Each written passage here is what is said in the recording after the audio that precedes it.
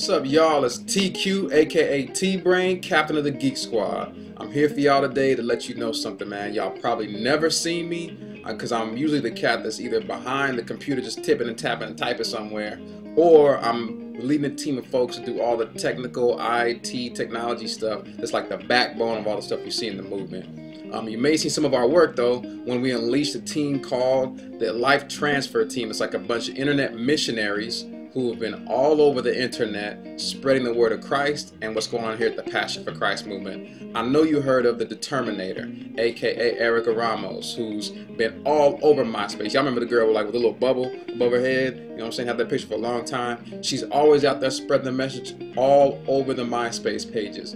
And then we got our another soldier named Chop Chop, aka LaAsia Wiggins.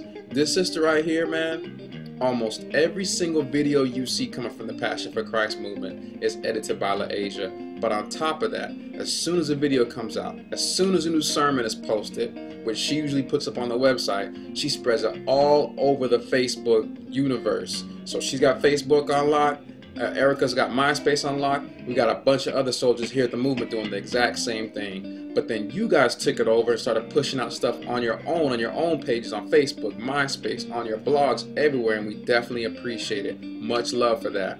But right now, I've been in the lab because back in the day, I originally developed the P4CM.com website, and now we need an upgrade. I've been in the background trying to upgrade the software for the website, but now it's time for the redesign. We have a tight front page that we had somebody develop for us, and now we got to do all the organizational stuff behind the scenes to make it look live once we release a new website. So this is where I need your help. I'm calling all developers, all designers, if you know anything about content management, particularly Drupal. If you know anything about that, please hit me up at tq at p4cm.com. That's tq at p4cm.com and let me know that you want to help. Um, if you know anything about CSS or any kind of theming when it comes to Drupal, or even check it out like this.